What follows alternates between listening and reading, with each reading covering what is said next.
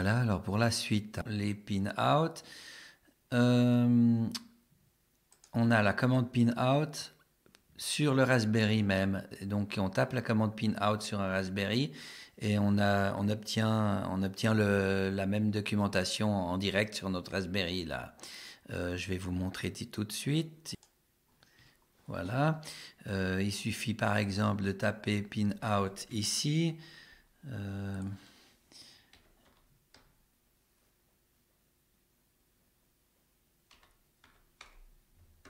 Et j'ai effectivement la documentation qui apparaît. on voit bien que la documentation, elle fait plus d'une page, mais enfin bon, voilà, le plan, etc et vous avez euh, l'explication sur ce que ce qu'est chacun des, des Ok. Ensuite, ben, je vais justement vous montrer la documentation. Euh, c'est de nouveau là. Euh, la documentation sur GPI en Python. Autrement dit, comment est-ce qu'on fait pour piloter en Python et allumer et éteindre nos LED. Alors vous voyez que il faut taper ça, from euh, pi0 import LED.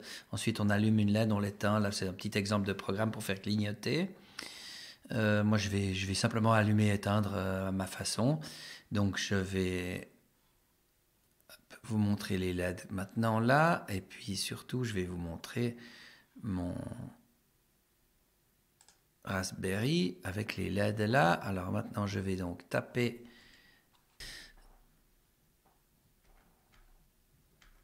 Je vais commencer par taper Python. Voilà, je le fais. Ensuite, dans Python, ben, je vais from. Euh, ben, je l'ai déjà fait là. N'est-ce pas? Je vais allumer la LED numéro 17. Je l'ai fait tout à l'heure. Euh, ben, je vais prendre la 18. Là, j'avais fait.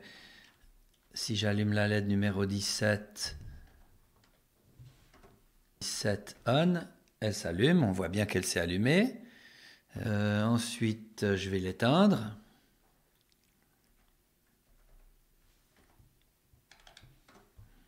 Elle s'est éteinte. Pour vérifier que tout est bien branché, j'essaye avec la 18.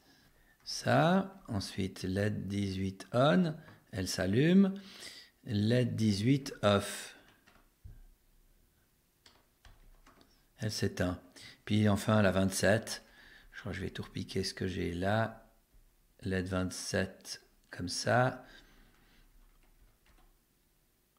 LED 27 on, elle s'est allumée.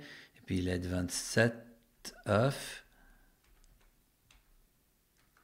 Elle s'est éteinte. Voilà, donc euh, une fois que vous avez vérifié que tout ça fonctionne, euh, c'est que tout est branché correctement. Et puis, ben, on n'a plus qu'à aller euh, fabriquer notre site web. Tout ça, c'est la leçon suivante. Merci de m'avoir écouté.